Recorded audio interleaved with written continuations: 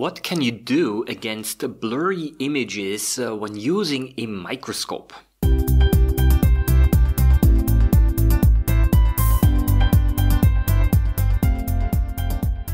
So hi, hello and welcome, Mike Microbe Hunter here, Oliver here. Yes, uh, there are a few questions that uh, kind of keep on reappearing over and over again. Uh, either I get emails or uh, people comment uh, in my YouTube section and uh, post those questions. And in this case, one person was asking what are some possible solutions when the image of a microscope is blurry? And honestly, this is a huge question because uh, there can be so many different answers. And uh, I've uh, essentially brainstormed a few ideas here. Well, a few ideas, uh, that's good. I've got one, two, three, four, five, six uh, different uh, possibilities. And each one of them, or almost each one of them, um, yeah, there are several solutions to them. Um, so it's a, it's going to be probably a slightly longer um, episode this time because I want to actually go quite quite deep and and uh, explore all of the the possibilities in order to give you a quite a comprehensive um, answer. Yeah, uh, towards the very end of the um, of this episode, I'm going to tell you a little trick uh, of what you can do to uh, make sure that the image appears to be crisp and sharp, um, even though um, it might not quite be quite as perfect because there's one thing that you can do and it is not using Photoshop uh, to sharpen the image. There's something else uh, you need to do a little bit more. I'm going to tell you at the very end. So yeah, um, I'm going to give you a quick um, a quick overview of uh, the different topics that I'm going to talk about here. Um, so the six topics here are is uh, first of all the maybe you are already at the limit um, of uh, what the microscope is able to resolve. So that's the first one. Um, the second one is uh, the problem of a low contrast. Uh, the third point is uh, a, a specimen that is not flat, not completely flat. Um, the fourth uh, point is uh, some problems with specimen preparation. That's going to be a pretty technical one here. It has to do something with the thickness of the cover glass and the mounting medium. And then um, two, uh, two uh, quite common ones, uh, which are kind of surprising, is um, there might actually indeed be a little bit of dirt on the objective, but don't just start cleaning quite yet. Uh, I'm going to be talking about this as well. And the last point is the whole issue with immersion oil in the case of an oil immersion objective. And what you can do is, is you can basically rule out point by point the different problems that you have and uh, if you ruled them out and the image quality still does not improve, then probably, um, yeah, it won't improve any further. Or there's another fundamental problem that I even I didn't think uh, think of. Well, um, so what I'm going to do now is, is, I'm going to start right at the beginning um, and. It's actually bad news, really, because maybe uh, the first point, maybe, uh, yeah, that's all your microscope is able to resolve, and uh, simply your expectations are, are too high. So maybe sometimes the image is blurry because, well, it's it's blurry because uh, it, basically uh, the microscope is able not uh, is not able to resolve any much more. And I need to explain this a little bit. Now, when you look at a, a microscope objective, and if you look at the things that are printed on the microscope objective, um, then there are a couple of numbers that are kind of important important. And one of the numbers is, uh, of course, the magnification. You see either large 4 for 4 times or 10 for 10 times. Then there is usually the number 0.17 written on it. And this is uh, the thickness of the cover glass, which I'm going to be talking about this uh, just in a couple of minutes. Um, and then there is um, also some in some cases there is the number 160 written on it. That's the standard used. It's the 160 millimeter standard. Um, some higher end microscopes also have an infinity sign on it. These are the different standards, but also that is not so important. Uh, rather, it's, it's a so-called numerical aperture, and this is a decimal value, which is also printed on the objectives. And this uh, essentially tells you the resolution of the microscope objective. Well, actually, it's not the resolution directly, but you have to plug it into a formula, and then with a wavelength of light uh, as well, then you can determine and calculate the, the resolution um, of uh, this particular microscope objective. And uh, one of the things that you need to know now is, is that uh, the numerical aperture value, of course, is larger the higher the magnification. So, for example, for the 100 times oil immersion objective, uh, in many cases it's around 1.25 or something like that. Um, however, uh, even though the resolution is higher, the magnification of the objective increases faster than the numerical aperture. So this means that uh, at higher magnifying objectives, the image will appear more blurry than at the lower magnifying objectives. Um, even though the resolution is higher. It, it, it's kind of, uh, I know, a little complex maybe, but you have to understand that the, the numerical aperture is not able to keep up, uh, so to say, with uh, the magnification of the objective. And this means that, uh, especially when you're using, let's say, the 40 times or 100 times oil immersion objective, the specimen will appear to look blurrier and less crisp than at a lower magnification. Um, that is not it's not only because of the numerical aperture and the resolution, but also because the depth of field is lower. But that's a different topic. Um, at least uh, what I want to say here at the first point is, is, is maybe don't be disappointed. Uh, maybe where you are already, at the limit of what uh, your uh, light uh, is able to produce or deliver. Because after all, microscopes, uh, just as well as, as telescopes, both of these are so-called diffraction limited devices. And this means that we are already operating at the limits of so to say, and at the limits of what light is able to produce yeah, concerning clarity. And uh, yeah, from a certain magnification onward, um, uh, it doesn't even make sense to have a yet higher magnification because the image becomes yet more blurry. So this is basically the first thing. So maybe we just have to lower our expectations uh, some uh, sometime, uh, sometimes, and and maybe to go down with the um, with the magnification a little bit, and then have a picture that uh, appears to be subjectively to be a little bit more crisp. So that is uh, the first one. Now I want to move on a little bit, and the, next point is also quite extensive. Um, and the next point is, is the whole issue about image contrast. And it's a little bit of a psychological topic as well, because um, sometimes when an image has low contrast, it might appear to be more blurry. At least subjectively, if you have a structure that um, is very has a very different color or brightness from the background, subjectively sometimes it might appear to be more crisp uh, and, and, more sharp, even though actually it's not. It's a little bit of a psychological thing. Um, but in any case, so what I would like to suggest that you do is, is, is I would suggest that you play around a little bit with the condenser aperture diaphragm. Now, the condenser is an optical system which can be found beneath the stage of the microscope, and in many cases, there is a horizontal lever um, that can be yeah pushed left and right.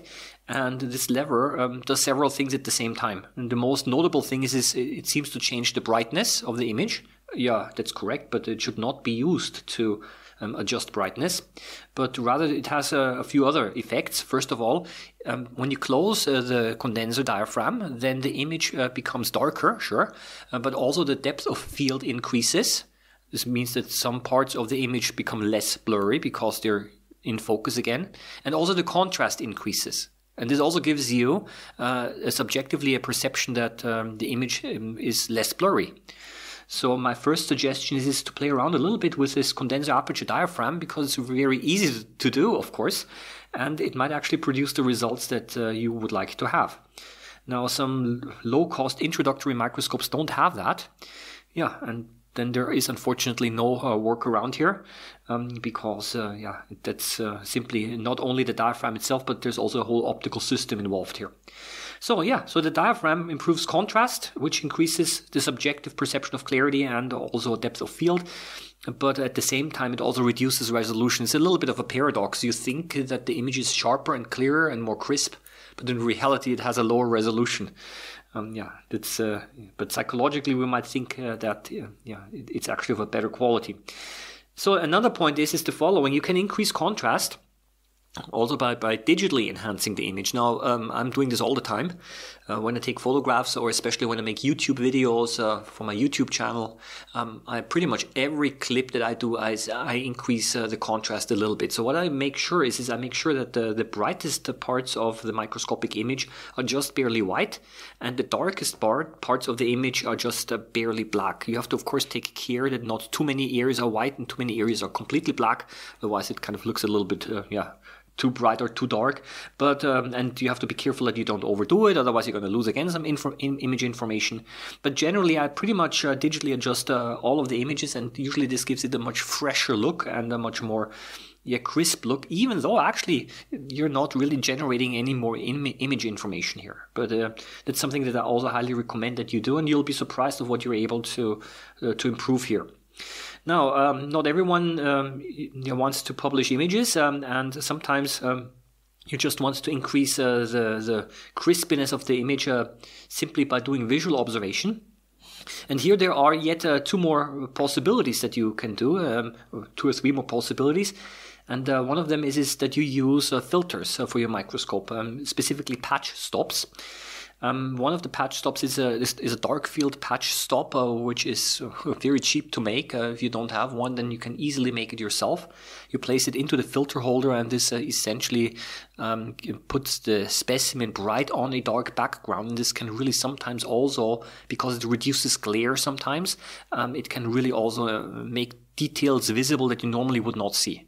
So dark field is really something that I can recommend. Again, it doesn't uh, work well with all specimens, uh, but that's what you have to try out.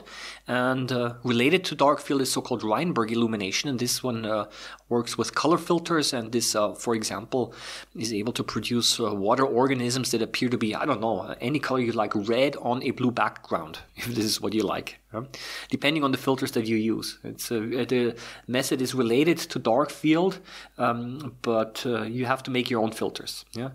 And uh, this is called optical staining um, because you're not adding any chemicals to change the color of the specimens.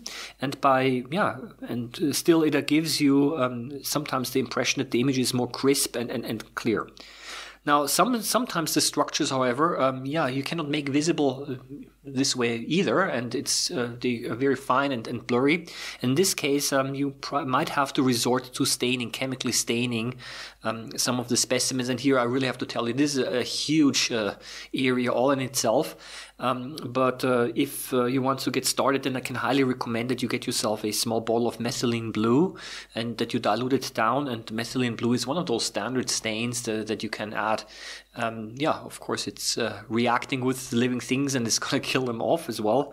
Um, but you can make some uh, structures visible that uh, otherwise are not visible, and this increases the contrast, and then you might also get the impression that the image is less blurred and more crisp. Yeah, and then last but not least, um, image contrast can be uh, improved by reducing image glare, especially for phot photography work. This is now again a, um, a special thing that uh, mostly the high-end microscopes have, and that is called Köhler illumination. Köhler illumination, it's um, again another diaphragm and an optical system which is uh, located right above the lamp and uh, it ensures that uh, there is not too much light uh, going into the objective. So it kind of uh, blocks out all of the other light that is not necessary. And this also reduces the glare. Um, especially for photography work it can really increase uh, the contrast and also the perceived clarity significantly. Um, however it's not found in all microscopes. And um, in some specimens, the effect is not very strongly visible, and if you don't have Köhler illumination, most people don't, um, then you simply also have to improve the image a little bit uh, by enhancing the contrast digitally. Yeah, yeah. So that's basically. I'm just going to summarize this here again a little bit. You can play around with diaphragm, digital enhancement. You can use filters. You can use chemical staining, and then uh, if your microscope has Köhler illumination, you can also try that. All of these things will increase the contrast and also, yeah, improve image quality. And uh, then you might not realize uh, that uh, the image is actually slightly blurred. Yeah, but that's uh, only part of it, part of my whole answer, because I have to go on now. I'm, I'm not even at, at, at half yet. Um, yeah, so the next one uh, we have to deal a little bit with the actual specimen itself, because sometimes you have to blame the specimen if uh, the image is a little bit blurry. This is uh, for example, especially in the case if you have uh, specimens that are thin and flat and large, for example, like leaves, if you put a whole leaf, usually thin ones like uh, from water plants from Elodea, you can do a whole mount. You just take a small leaf and you put it directly on a microscope slide with a cover glass on top. They're thin enough that you can do that. Um, but sometimes uh, those leaves are not flat and uh, they're warped a little bit and uh, sometimes they're so warped that they're even able to kind of lift up the cover glass a little bit and uh, this can now result in the problem that uh, some parts of the specimen are in focus and other parts are, are out of focus. Yeah. So uh, you have to then basically refocus everything and then a different part of the image is going to move into focus and out of focus. Yeah, so you're kind of chasing around. Um, in this case, what I suggest is, is that you uh, simply scan the image a little bit and, and look for a place uh, where which is mostly in focus, obviously, or you can try to press down the cover glass a little bit more.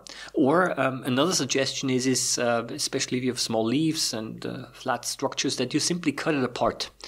Um, because uh, this also kind of takes away the strain of the leaf and uh, will also then result um, yeah, in those parts being more flat. Yeah. So or you press it down. Yeah. So but in, in, in any case, uh, this is uh, one problem that uh, you can can be easily easily resolved. Now, if this is not not possible, then you can do something called image stacking. This is again going a little technical right now. Um, what you can do is, is, in this case is you can take uh, several pictures um, using a different focus and uh, then you use software. Uh, for example, there is a free version called Picolay, picolay.de, um, or there is a commercial version also called Helicon Focus, uh, which I think has a one month uh, free use. I'm not affiliated with those companies, yeah, but uh, I'm, I'm, using them myself. Um, and uh, when you do that, you these programs are able to combine the different parts of the different pictures that you've taken into one final picture, which is completely in focus. Um, and uh, this also reduces the blurriness if blurriness is due to um, out of focus parts. Yeah? So that is one thing. Um, now, in some cases, uh, especially when you look at uh, water organisms, uh, like uh, I don't know certain ciliates that uh, move around quite quickly, um, then they can also move vertically. So they can move in and out of focus, especially if you use too much water, too much mounting medium um, they will actually appear to be blurry because they also move vertically. And what you have to do now is, is you have to make sure that you don't use too much water um, and that uh, those microorganisms are sandwiched in between the cover glass and the microscope slide. Um, sometimes even this is uh, not uh, quite easily possible. Sometimes they're so small that even they, um, uh, even the sandwiching doesn't work, and that they are still able to move. And in this case, I suggested you use the so-called the Vaseline method the Vaseline method, uh, you take your cover glass and you cover the edges, the sides of the cover glass with a little bit of Vaseline. And um, in the center, you have your specimen in a little small drop of water, and the Vaseline will act like a glue. Um, and when you press down on the cover glass, uh, then the Vaseline will spread and it will actually keep uh, the cover glass very close to the microscope slide. And this sandwiches the water microorganisms between the cover glass and the slide. And uh, this uh, compresses them as well. And uh, because they're so flat, uh, this means that you can also go up quite high with the magnification and all of the parts of the cell will still be in focus and not be blurry. It's a pretty cool method. If you overdo it, you're just going to pop the cell, unfortunately. also happened to me already. Uh, but um, this is basically a suggested method, and uh, because this also really restricts the horizontal movement uh, of uh, the microorganisms. Um, this means that when you take a picture of those microorganisms, then you will also not get as much motion blur. Um, because yeah, because of the exposure time, especially at high magnifications, the light is, is intensity is quite low that the camera receives, and then you need a longer exposure time. And uh, this uh, basically then also means that then the image is going to be blurred um, because the specimen moves. But if you sandwich it in between a cover glass and, and slide, uh, and if you restrict the movement, both vertical movement and horizontal movement, um, then you're able to get a much uh, better and much uh, more clear image. Now, the next one, uh, the next uh, point I'd like to talk about, we're still staying with uh, specimen preparation, but this now has to do something with the production of, of permanent mounts because um, even here it's important uh, that uh, the permanent mount is properly made um, so that you get a good image clarity. And uh, this is getting a little bit uh, technical here right now.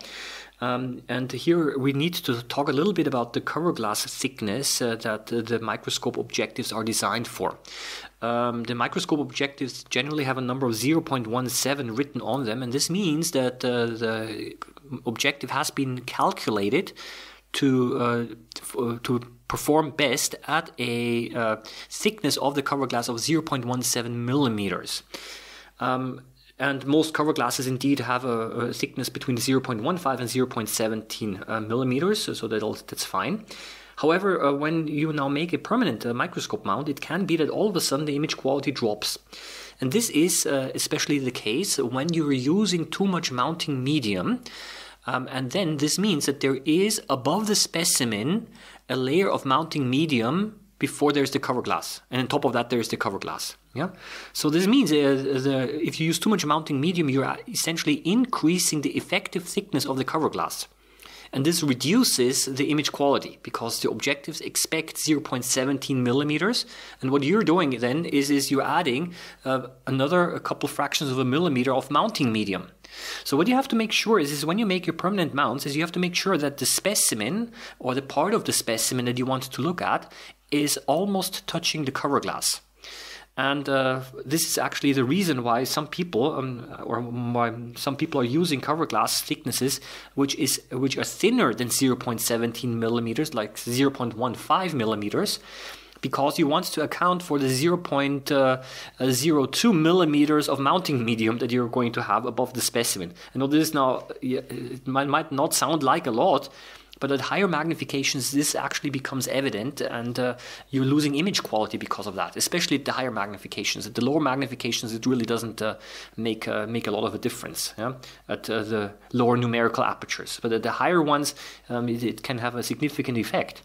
So, uh, in other words, uh, make your permanent mounts in such a way that there is very little mounting medium um, between the cover glass and the specimen. Um, yeah, so uh, how do you do that? um, one way of, of doing that is is uh, making sure that uh, um, while the microscope slide is drying, to maybe invert the microscope slide because gravity is, is going to act uh, on um, the specimen and then it's going to sink down.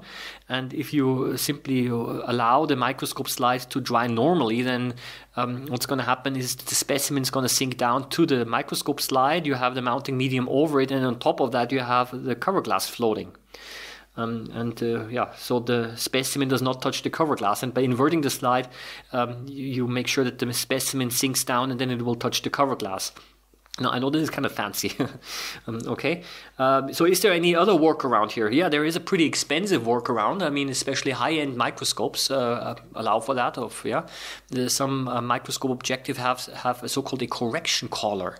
So, there is a ring that you can turn on the microscope objective um, to compensate for the cover glass thickness.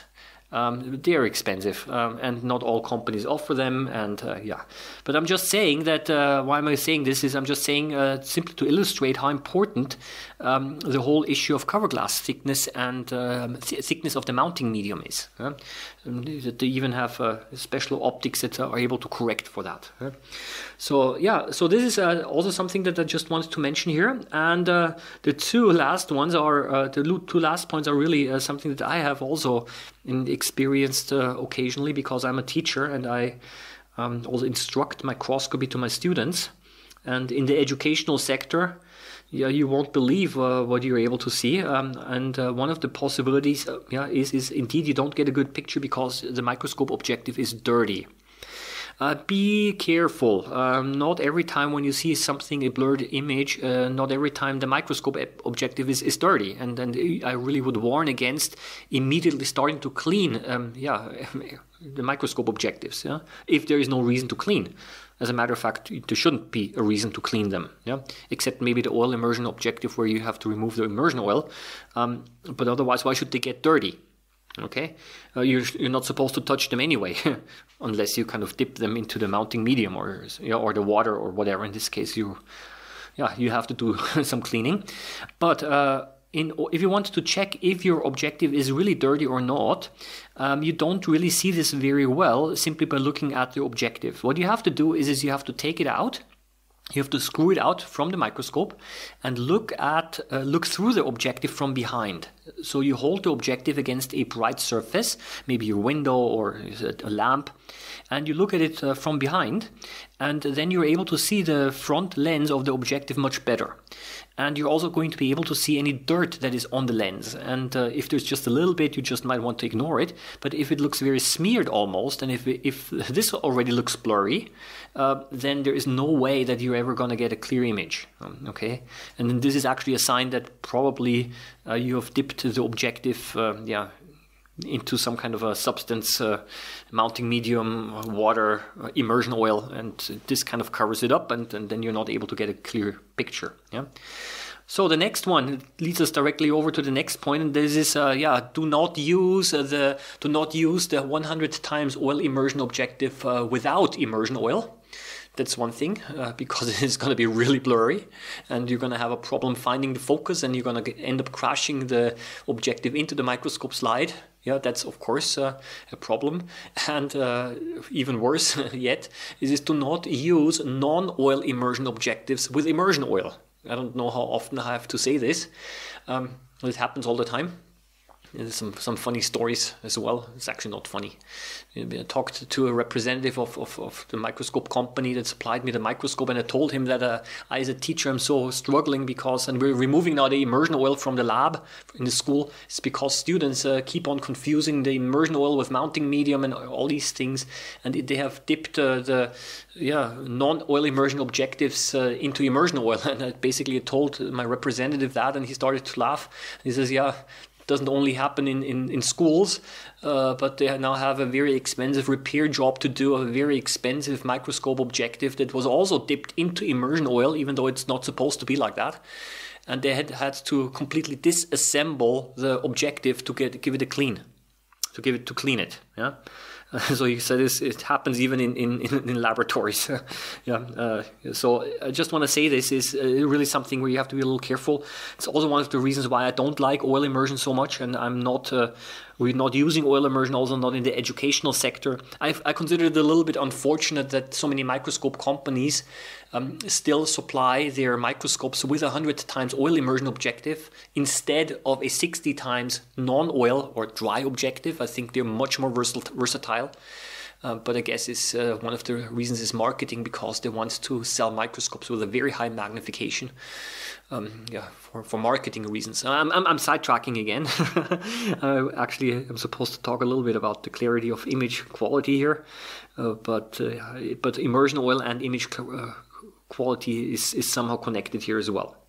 Well, um, yeah, I think I'm just going to not stop yet uh, because I did promise you at the very beginning a, little uh, trick. I don't know if it's called a trick or a little suggestion on how you can make uh, very good looking images, and that is is not to use a sharpening filter but to use so-called image stitching. I mean, I already talked about stacking, where you're combining the focus of different images, but actually you can also increase the image clarity by using stitching. And what I mean is the following. You take a specimen, I don't know, I, like to do this with uh, cross sections of, of, of, plant stems or plant roots. Uh, they're quite common. Um, these are permanent mounts, um, and you, which can sometimes they are even supplied uh, when you actually buy a microscope. Sometimes they even provide those. And um, what you do is, is you take many overlapping pictures of this specimen. Um, sometimes you have to refocus again because the image is not completely flat uh, or the specimen is not completely flat. Uh, doesn't matter. You take a whole bunch of overlapping images and you make a two-dimensional panorama image using a program which is also free. Um, it's called MS-ICE, Microsoft Image Composite Editor. MS-ICE, uh, Image Composite Editor. It's a free program and it does two dimensional panoramas. And it will stitch together the images into one large panorama. So, what you're essentially doing is, is you're creating a, a pretty large micrograph and uh, it looks quite nice. Uh, yeah, um, so even if your camera is only able to capture a very small field of view, this way by making it this two-dimensional panorama, you are able to um, actually increase the field of view quite a bit, and you can do that using also the higher magnification objectives. So let's say you're using a hundred times, uh, let's say at, the 10 times objective or even the 40 times objective. The 40 times objective will already uh, make it a little bit blurry because I mentioned that the magnification is already so high. But it doesn't matter. You're going to take a few hundred pictures, overlapping pictures of the specimen. They're all slightly blurry because of the limits of uh, resolution that we uh, talked about. And then you stitch them together and then you do the following. You have this large micrograph this large picture and then you're able to make it smaller again. You scale it down again. And by scaling it down uh, what happens is is you still have a picture which is of decent size because you combine so many of them together um, but you're not going to see the blurriness anymore because you made it smaller okay um, so this means subjectively you will get a picture a micrograph that is pretty crisp but ultimately you have done taken the picture with um, yeah a very high uh, very high magnification yeah but because you stitched it together you get a good field of view again and then you have uh, essentially a picture that uh, you can publish and uh, you can show, and it looks very cr- uh, crisp and, and very nice. Um, but uh, you're actually not showing uh, the details, the blurry details, so to say, uh, because you've reduced the overall image size again, so that you, when you zoom in, you're going to reach the limits of the picture resolution before you're actually going to reach the limits of the microscope resolution, if I may say it like that. Yeah. Yeah so this is kind of the the thing that i wanted to give you an overview and i think because it was such a long um, podcast i'm going to or episode podcast episode i'm simply going to run you through all of those points again. Yeah the first point was is maybe um, you cannot improve the image quality because you're already at the limit of resolution. Uh, then you can try to increase uh, the contrast by using either the diaphragm or some digital methods or filters or staining um, you have to make sure that the image is completely flat. Not the image, the, the specimen should be completely flat uh, to prevent that some parts of the specimen are out of focus. Um, I talked about the Vaseline method. Yeah, for example, you can um, also try to um, uh, overcome the problem of specimen preparation by ensuring that uh, the, the, mounting medium layer is very thin. That's also very important um, because uh, of the yeah not too much mounting medium above the specimen yeah, the whole issue about uh, cleaning the objective um, and also the issue of immersion oil and that immersion oil is really necessary for the 100 times oil immersion objective but you should not use immersion oil um, on the other objectives. Um, yeah it's actually it might break them. So i think uh, i'm going to leave it at that. Um, yeah i wish you all the best uh, and uh, enjoy microscopy and uh, see you around next time. Bye bye